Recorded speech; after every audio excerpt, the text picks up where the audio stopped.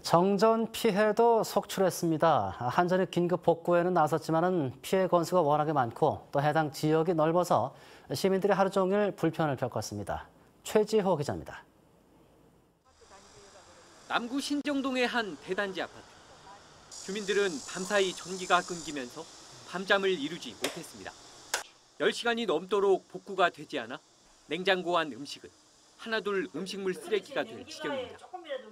새벽 3시부터 정전이 되고 여태까지 벌써 몇 시간이냐고 이때까지 복구가 안 된다는 거는 우리가 후진국도 아니고 삶의 질이 이렇게가 되겠느냐고 제가 항의를 했어요.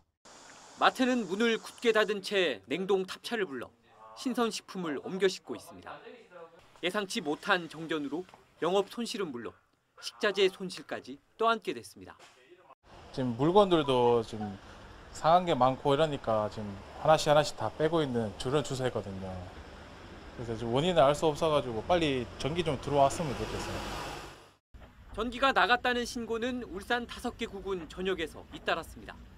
신호등 133개가 꺼져 경찰이 일일이 수신호를 했고 아파트 등 주택 3만여 세대가 단전을 겪었습니다.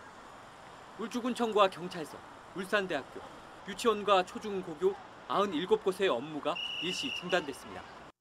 더딘 복구 작업에 대한 시민 항의가 빗발쳤지만 한전 콜센터는 긴 기다림의 연속이었습니다.